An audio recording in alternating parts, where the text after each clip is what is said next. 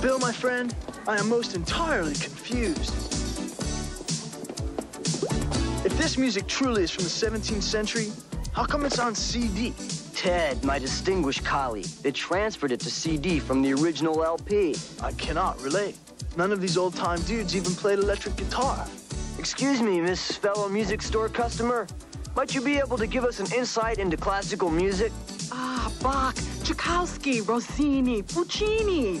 Drag, lady doesn't even speak English.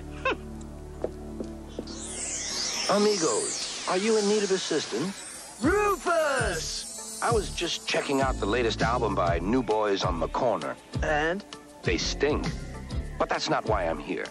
Excellent. You have come to help us with our report on classical music. Gentlemen, that would be cheating. However, I do have clearance to say three words. Wolfgang Amadeus Mozart. Amadeus? Did he not make a movie a while back? Yeah, my family rented that flick. It was most triumphant. And he really liked to party on, dude! Brainstorm! Let's travel back to this Wolfman's time and ask him to assist us with our report. Most excellent. Hey, Rufus, when did this Wolfgang man live? 1780, Salzburg, Austria. Be there. Thanks, Rufus. Later, dude.